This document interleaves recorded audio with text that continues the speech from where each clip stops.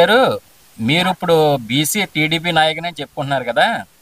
ఇప్పుడు చట్టసభల్లో reservation only Telugu Desam party వైపు వస్తేనే మనకు న్యాయం జరుగుతుంది అంటున్నారు బీసీలకి ఆ బీసీ చట్టం రాకుండానే వైఎస్ఆర్సీపీ ఉభయ గోదావరి జిల్లాలో ఎమ్మెల్యే ఎంపీ సీట్లు కూడా ఇచ్చింది.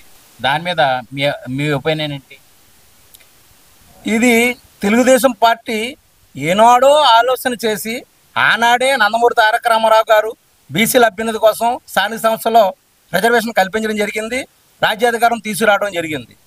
అలాగే సీట్లు ఇచ్చుకుంటూ వస్తున్నారు. ఇప్పుడు ఇక్కడ వచ్చేటప్పటికి తెలుగుదేశం జనసేన బీజేపీ ఈ మూడు పార్టీల సమ్మేళనంతో పొత్తుతో పార్టీ ముందుకెళ్ళిన పరిస్థితి వచ్చింది. ఈ పరిస్థితిలో సీట్ల సర్దుబాటు అనేది చాలా కీలకమైంది.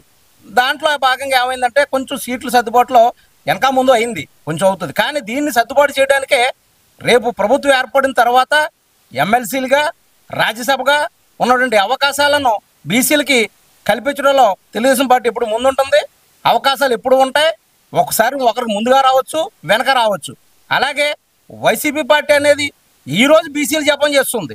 కానీ ఏనాడు నుంచో బీసీల అభ్యున్నతి కోసం పోరాడిన పార్టీ తెలుగుదేశం పార్టీ. అది అందరూ ప్రజలందరూ గమనించాలి. లేనిపోని ఆశలకి వీటికి ఇదో ఒక్కర్లేదు ఖచ్చితంగా తెలుగుదేశం పార్టీ ఎప్పుడు బీసీల పక్షపాతిగానే ఉంటుంది. బీసీలకు న్యాయం జరిగే విధంగా ఎప్పుడు చూ- ఆలోచన చేస్తుంది. ఆ ఆలోచనలో భాగమే బీసీలకు రక్షణ చట్టం కల్పిస్తామని మేనిఫెస్టోలో పెట్టడం జరిగింది.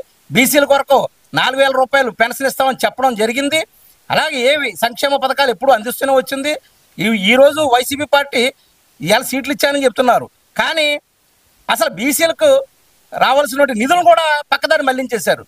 ఒక బీసీ కార్పొరేషన్ ద్వారా బీసీ రుణాలు రావాలి. ఆ రుణాలు ఎవరికి ఇవ్వలేదు. బీసీ కార్పొరేషన్ ఏర్పాటు చేశారు చైర్మన్ ఏర్పాటు చేశారు. వాళ్ళందరూ కూడా ఒక చైర్మన్ పదవుల కిందనే ఉండిపోయారు. వాళ్ళ దగ్గర నుంచి ఎటువంటి కూడా ప్రజలకు ఏ విధమైన న్యాయం జరగలేదు ప్రజలకు ఏ విధమైన అందలేదు. వైసీపీ పార్టీలో ఎంత దగాపడ్డాం అన్నది బీసీ అందరికీ తెలుసు. దీన్ని మా- దీన్ని ప్రజలందరూ గమనిస్తున్నారు. బీసీ నాయకులు తెలుగుదేశం పార్టీని స్వాగతిస్తున్నారు. రాబోయే కాలంలో తెలుగుదేశం పార్టీ అధికారులు రావడం ఖాయం. మాకందరికీ మంచి పాలన అందరం ఖాయం.